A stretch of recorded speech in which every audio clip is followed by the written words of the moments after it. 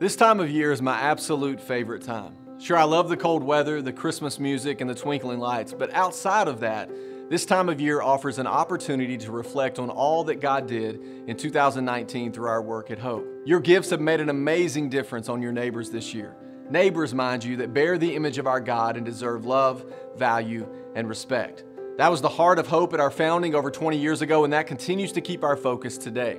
Through over a thousand individual gifts, partnerships with over 50 churches, and donations from businesses and organizations in our city, we have been able to have one of the greatest years ever at Hope as we provided 713 pregnancy tests, 442 ultrasounds, over 600 sexual health and well woman screenings, and 71 baby showers for first time moms.